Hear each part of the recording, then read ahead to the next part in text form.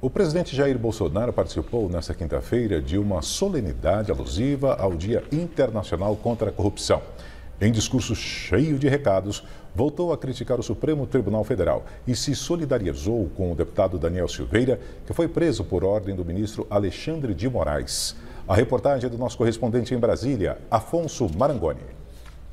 Na cerimônia, Bolsonaro apresentou três medidas para aprimorar o combate à corrupção e dar mais transparência à administração pública. Entre elas, uma que foi encaminhada ao Congresso e que regulamenta o lobby, que é a representação privada de interesses junto a agentes públicos. Ao discursar, o presidente voltou a dizer que seu governo não registrou escândalos de corrupção, elogiou seus ministros e afirmou que ser honesto não é virtude, é obrigação.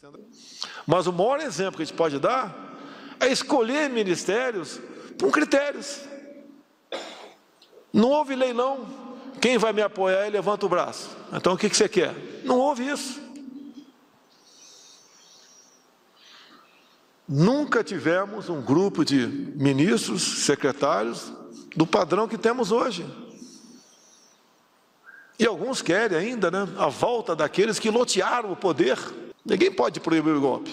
Ninguém pode proibir um ministro meu, um secretário, um servidor, seja quem for, de fazer coisa errada. Se tiver no nosso governo, a giripoca vai cantar. O presidente aproveitou para fazer críticas indiretas ao ministro Alexandre de Moraes do Supremo Tribunal Federal. Desde os atos de 7 de setembro, ele vinha evitando falar sobre integrantes da corte. Bolsonaro defendeu aliados que foram punidos pelo STF, sobretudo o deputado Daniel Silveira, do PSL, que estava na plateia do evento. O parlamentar foi preso por ordem de Moraes após publicar um vídeo com ataques a ministros do Supremo. Eu não posso entender um parlamentar ficar preso sete meses vezes. E se errou, como todos nós podemos errar, jamais a pena seria para isso. Qual o limite de certas pessoas do Brasil? Qual o limite dessas pessoas? Doeu no meu coração ver um colega preso? Doeu. Mas o que fazer? Será que queriam que eu tomasse medidas extremadas? Como é que ficaria o Brasil perante o mundo possíveis barreiras comerciais, problemas internos. Bolsonaro reafirmou a sua contrariedade quanto à possibilidade de exigência de passaporte vacinal, destacando que ele mesmo não se imunizou contra a Covid-19. O presidente criticou o governador de São Paulo, João Dória, do PSDB, que cobrou que o governo federal exija o documento para permitir a entrada de viajantes no Brasil. Segundo o Tucano, caso isso não aconteça até 15 de dezembro, o governo de São Paulo adotará a medida em todo o estado. Enquanto com outro governador aqui da região sudeste quer fazer o contrário. E ameaça. Ninguém vai entrar no meu estado. Teu estado é o se não tiver vacinado.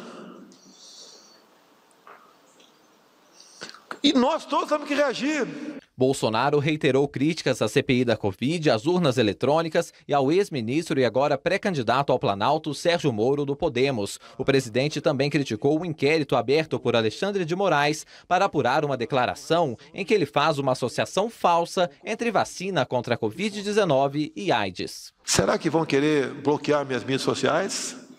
A mídia social que mais interage no mundo? Vão querer quebrar uma perna minha? Isso é democracia? Não é.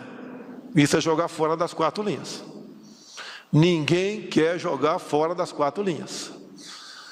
Nós queremos o respeito, mais que queremos, exigimos, por favor, não extrapolem. Eu jurei dar minha vida pela pátria e dou pela liberdade também.